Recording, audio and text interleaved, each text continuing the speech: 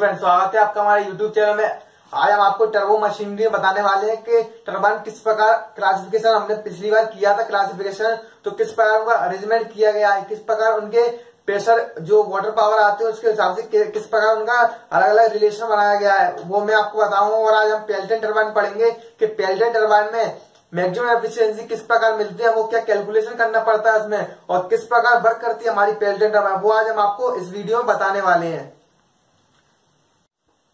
और हम देखेंगे किस प्रकार रिलेट कर रही है हमारी टर्बाइन हमने क्लासिफिकेशन दिया था, वो किस प्रकार रिलेट कर रही है आपस में? तो जैसे मैं बताऊँगा आपको इम्पल्स टर्बाइन जो इम्पल्स टर्बाइन होती है, वही जो इम्पल्स टर्बाइन है, वही टेंजेंशियल फ्लो टर्बाइन वही पेल्टन टर्बाइन तो अब इन तीनों के अलावा हम तीनों नहीं पढ़ेंगे, इन तीनों के अलावा हम पेल्टन टर्बाइन पढ़ेंगे। हम पेल्टन टर्बाइन पढ़ ली तो समझ लो हमने टेंजेंशियल फ्लो टर्बाइन पढ़ ली और इम्पल्स टर्बाइन पढ़ी, क्योंकि ये तीनों आपस में रिलेशन है। तीनों तीनों एक ही चीज़ है जो हम पढ़ रहे हैं। आपको बहुत कंफ्यूजन रहती है कि कौन सी टर्बाइन कौन सी है किसमें आती है, कौन सी किसमें आती है। बुक वगैरह पढ़ते हैं तो उसमें केवल तीन टर्बाइन का नाम दे दिया जाता है। Pelton turbine inward outward flow outward radial flow Francis turbine और एक्जिल फ्लो टर्बाइन बच्चा कंफ्यूज हो जाता है कौन सी पढ़े, कौन सी नहीं पढ़े, कौन सी किसके अंडर में आती है, कौन सी नहीं आती है। इसमें आपको बहुत कंफ्यूजन रहती है तो मैं आपकी कंफ्यूजन क्लियर कर देता हूँ। और दूसरे आता है रिएक्शन टर्बाइन रिएक्शन टर्बाइन में हम पढ़ते हैं रेडियल फ्लो टर्बाइन और जो रेडियल फ्लो टर्बाइन उसमें दो प्रकार की टर्बाइन आती है हमारी। एक है इनवर्ट रेडियल फ्लो टर्बाइन दूसरी outward radial flow turbine inward inward radial flow turbine है, इसमें outward to radial flow water होता है, और जो आउटवर्ड रेडियल फ्लो टर्बाइन है, इसमें inward to outward radial flow होता है, उसका वाटर का जो हमारा रहता है डायरेक्शन और तीसरे नंबर पे आते हैं फ्रांसिस टर्बाइन ये इनवर्ट फ्लो रिएक्शन टर्बाइन होती है हमारी। ये बेसिकली रिएक्शन टर्बाइन ही पढ़ रहे हैं हम जितने भी हम क्लासिफिकेशन देख रहे हैं। और ये हमारी एक्जेल फ्लो रिएक्शन टर्बाइन ये सबसे अलग टर्बाइन है। तो हमें तीन प्रकार है इनमें रिलेशन समझा एक होती है impulse turbine reaction turbine impulse में से आता है पूरा। रिएक्शन जो पूरा आता है और एक्जेल में जे एक्जेल टर्बाइन अलग है। तो हम, हमको बेसिकली क्या है? तीन चार टर्बाइन पढ़नी है। उससे हमारा पूरा टर्बाइन का पूरा टॉपिक कवर हो जाता है। उनमें उनके मैक्सिमम एफिशिएंसी वगैरह की डेरिवेशन करेंगे। तो पहले हम इसमें पढ़ेंगे पेल्टन टर्बाइन फिर हम आपको बताएँगे इनवर्ट रेडियल फ्लो टर्बाइन फिर बताएँगे आउटवर्ड रेडियल फ्लो टर्बाइन फिर बताएँगे फ्रांसिस टर्बाइन और फिर बताएँगे एक्जिल फ्लो टर्बाइन हम आपको डिफरेंस भी बताएँगे कि पेल्टन टर्बाइन और फ्रांसिस टर्बाइन और रेडियल फ्लो टर्बाइन में किस प्रकार डिफरेंस आता है, किस क्यों ये बनाएँगे हमने क्यों ये बनाई हुई है, ज़्यादा क्यों बनाई हुई है, एक ही क्यों नहीं बनाई तो हम आपको बताएँगे किस प्रकार की एफिशिएंसी किसमें ज़्यादा हो जाती है, किसमें कम हो जाती है। अब आप, अब हम आपको बताएँगे कि किस प्रकार हमारा जो कैलकुलेटर वाला वर्क करता है। क्या क्या इंस्ट्रूमेंट लगते हैं उसको वर्क करने में? ऐसा ये हमारा लगभग एग्जैक्ट रियल तो नहीं है, लेकिन रियल जैसा मैंने आप पिक्चर बनाई है, उधर ऐसा ही अरेंजमेंट रहता है, जो जो चीज़ें इसमें बताई गई वही असलियत में रहती है। आप आप कहीं यहाँ तो घूम के घूम के देख सकते हो पेलेंट टर्बाइन कैसी रहती है। कहीं भी हमारे अरेंजमेंट ये है। इसमें है penstock nozzle casing runner jet of water spear wells अब इनमें मैं आपको नंबर बाय नंबर से बताऊँगा क्या क्या कि, किस किस का क्या क्या वर्क होता है। पेन स्ट्रोक पेन स्ट्रोक सीधा कनेक्टेड रहता है हमारा टेल हेड से जो क्या है डैम में फिक्स रहता है। डैम से जो वाटर आ रहा है पेन स्ट्रोक के थ्रू आता है। पेन स्ट्रोक से नोजल में आता है। नोजल में हमें हमने एक इंस्ट्रूमेंट लगाया आप, आप देखो स्पीयर इसे स्पीयर कहते हैं। ये आगे सिलेंड्रिकल टाइप का रहता है सिलेंड्रिकल रहता है। क्योंकि जब भी हमको वाटर की कंट्रोलिंग करनी रहती है किस प्रकार कितना वाटर हमको आगे भेजना है और कितना नहीं भेजना है किस प्रकार प्रेशर से भेजना है, क्योंकि पूरा प्रेशर जो वाटर का उस पर डिपेंड करता है। अगर ये हमारा जाना आगे को होगा तो प्रेशर हमारा वाटर कम आएगा, लेकिन प्रेशर जाना पीछे होगा तो वाटर जाना आएगा प्रेशर कम आएगा।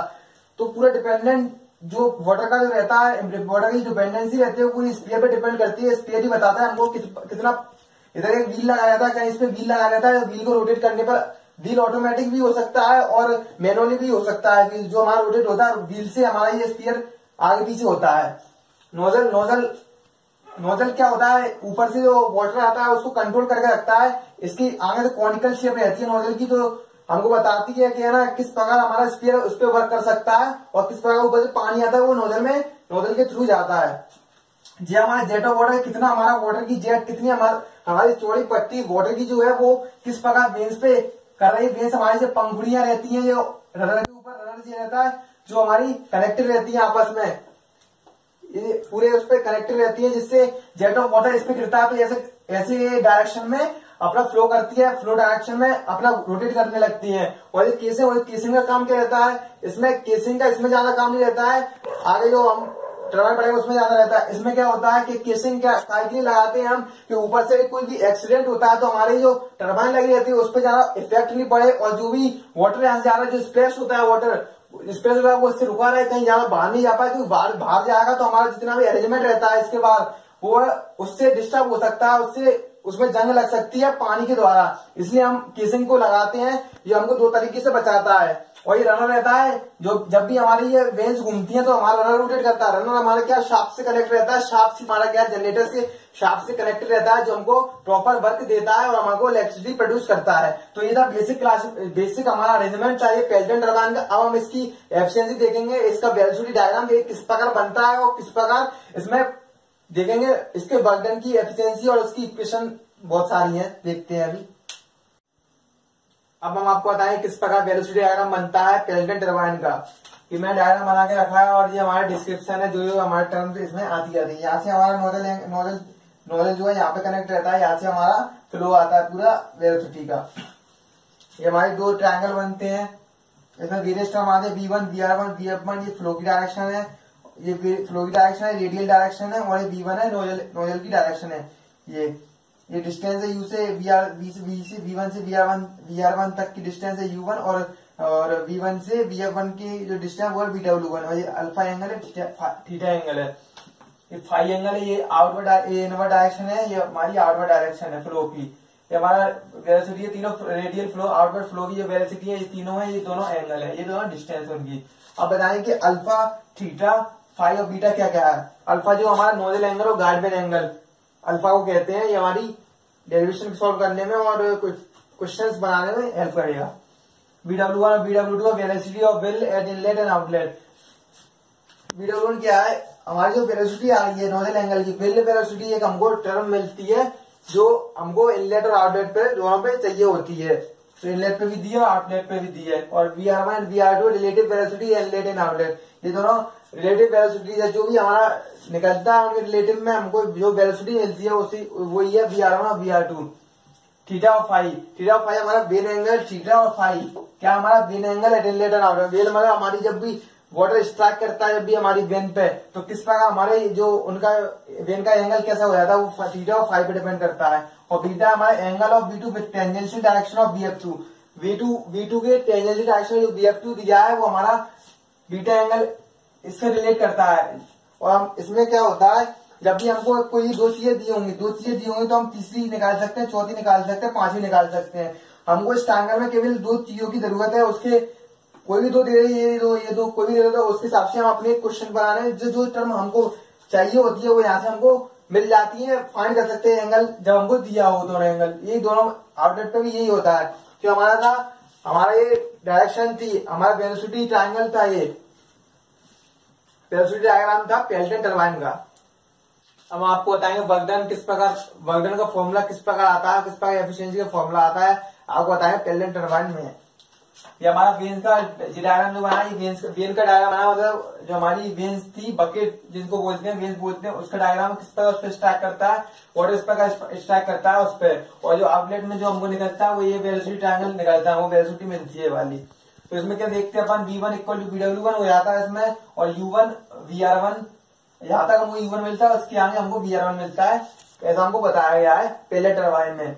तो वी आर वन हम यहाँ से निकाले। वी आर वन क्या होता है? क्या हो सकता है अपना? V one minus U U one V one minus U one तो वी आर वन होगा वी वन माइनस यू यहाँ पे हमने एक एजम्पन लिया हुआ है कि स्मूथ वेन होती है हमारी V R V R one equal to V R two होगा, अगर स्मूथ वेन होंगी तो। और यहाँ पे हमने नो भी कोई भी एनर्जी लॉस एनर्जी लॉस नहीं लिया है, यहाँ पे इस डेरिवेशन में। तो V R two cos five equal to U two plus V R W two जब हम यहाँ से वी आर टू का फॉर्मूला वी आर टू निकालेंगे यहाँ से वी आर टू तो कॉस का टर्म लाएँगे हम तो U two plus V W होता है कॉस होता है परपेंडिकुलर अपॉन हाइपोटेनस होता है तो इस ट्रायंगल में हम परपेंडिकुलर पर हाइपोटेनस लाएँगे तो हमको ये टर्म मिल जाएगी W two equal to V R two cos five minus U मैंने आपको बताया स्मूथ में ना तो V R one equal to V R two होगा। फोर्स कितना मिलता है हमको? जब ये स्टार्ट करता है तो फोर्स कितना फोर्स होता है? मास इंटू एक्सीलेशन एक्सीलेशन क्या है? वेलोसिटी के टर्म में दिया है यहाँ पे। तो M dot B W one plus B W two इसके टर्म में हमको मिलता है। और रनर पावर अपना रनर पावर होता है, वही होती है हमारी बगडन। बगडन जो हमारे वही रनर पावर होता है तो हमको F X force into displacement होता है। हमारा बर्डन हमने पढ़ा है फोर्स हमको इतना मिल रहा है और डिस्प्लेसमेंट यू यू डिस्प्लेस हो रहा है अपना ये ये पूरा यू डिस्प्लेसमेंट हो रहा है हमारा। तो M dot B one V W plus V W into V one को क्या लिख सकते हैं? हम वी डब्ल्यू वन को लिख सकते हैं वी वन लिख सकते हैं वी डब्ल्यू वन की जगह लिखा वी वन और वी डब्ल्यू टू की जगह लिख सकते हैं हम। V R two cos five minus U V R two cos five minus U into U में यू चल ही रहा है अपना। रनर पावर क्या होती है? एम डॉट इसको सॉल्व करेंगे तो V one minus U V R one cos five into U आ जाएगा हमारा। इन दोनों को एक साथ लिख लेंगे तो M dot V one minus U plus V one minus U V R one की जगह लिखते लिख सकते हैं V one minus V R one की जगह हम लिख सकते हैं वी वन माइनस यू तो ये लिख दिया हमने कॉस फाइव इंटू यू चल ही रहा है हमारा। इसको कॉमन ले लेंगे इसको तो वी वन माइनस यू आएगा और जगह one plus cos five into U one plus cos five into U hydraulic efficiency मैंने आपको पहली वीडियो में बताया था हाइड्रोलिक एफिशिएंसी क्या होता है रनर पावर अपन वाटर पावर रनर पावर हमारी से आई है हमारी रनर पावर है, और जी हमारी अपॉन में वाटर पावर वाटर पावर क्या होता है, जो भी हमको वाटर से पावर मिलती है वाटर से हमको पावर मिलती है पोटेंशियल एनर्जी फॉर्म में जो नॉलेज से होकर हमको मिलती है तो क्या होती है एमजीएच होती है पोटेंशियल एनर्जी का फॉर्मूला तो एम से एम कट गया हमारा तो क्या बचा?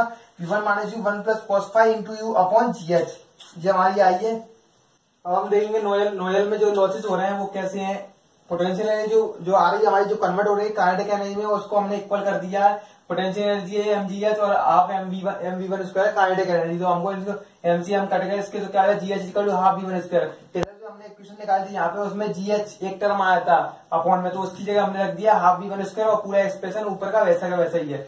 अब हमको मैक्सिमम एफिशिएंसी चाहिए तो हम इक्वेशन से डिफ्रेंशिएट कर देंगे तो हमको मैक्सिमम एफिशिएंसी मिल जाएगी।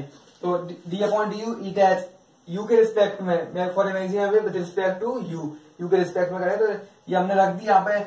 और ये one plus cos five, upon half V one square constant आगे आ जाएगा।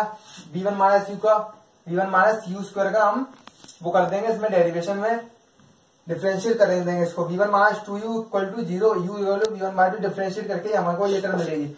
अब u की वैल्यू हम बी वन बाय टू हम इक्वेशन सेकंड में पुट कर देंगे तो पुट करने के बाद हमको जो आंसर मिलेगा, वो इस प्रकार मिलेगा। ये हमारी स्टार इक्वेशन है।